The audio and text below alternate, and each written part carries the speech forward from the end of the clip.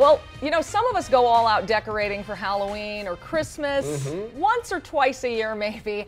What about every day for 13 years? Yeah, this is not just a seasonal decoration here. Danny New visited a homeowner in Aurora who used his skills as an artist to transform his home into an entire display. And you found Wow. this yourself. Hard to miss, I guess. Yeah, uh, so my wife and I were going to the post office, the one in Aurora. You know, we're still doing like our thank you letters from the wedding, so we were on our way to the post office. It's gonna be a couple trips. Anyway, so we we were by Syracuse and Colfax, and I was like, honey, stop the car. What is that? What is this, Steve? This is actually a bed frame. As a welder and artist, my guy Steve Hartbauer has transformed his family's home into what he now calls the Enchanted Hart Haus. And every day he's out here working on his ceramic mosaics, the twisted metal figurines and walkways that you saw before, like the bed frame, and these 31 doors right here that he dedicates mostly to animals because he also volunteers at Dumb Friends mm. League. He really loves animals, so a lot of little animal tiles that he finds and that he puts on there. But how does he do it? What's his technique? Well, Denver 7 actually got that answer four years ago.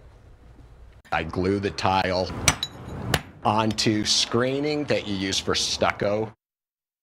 Check out those old graphics. Remember those things? Yeah. Well, it turns out Micah did a What's That on Steve back in 2019. And like many of us, Steve spent the pandemic getting a ah. lot of work done around the house, but much more pretty projects than ours. Like this is the transformation four years later, figure, finishing Wow. his element wall on the south side of the house.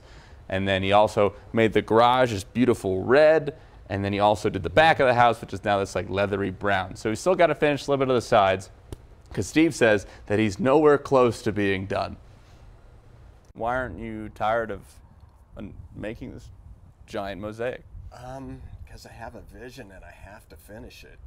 I'm hoping to be done in 10 years. I love to spend time by myself, so this gives me an outlet to, to work and, and be by myself. But yeah. Is it As as relaxing? It- Sure, it's cathartic. Yeah, absolutely. Smashing stuff and making art out of it. That's a metaphor for life, process. isn't it? You break it down and you glue it back up. He's got 10 years to go. That's right. He said he has 10 years left to complete his full vision and he can't stop till he's done. Did you ask him amazing. what the neighbors think about it? Uh. I well, you know, he said that the neighbors are cool with it, but also that people like ring his doorbell all the time. He's had visitors from Spain, from Germany, because I see it on like little like Wow. lists online of like cool things to see in Denver, Yeah. and then they'll just be like, "Hey, can I come see your house?" And he's like, "Sure, come Yeah. on in, come look at my house." Yeah. yeah. it's Does like a the museum, yeah. inside look anything like that either? Or he has some really cool projects on the inside. He didn't want me to film them, but like inside and out, he mm-hmm. and his wife are both extremely talented. wow. Yeah, And- very That's good detailed. tease, yeah. He spends every weekend out there, eight hours a day on the weekend, and when he comes home from work. Wow.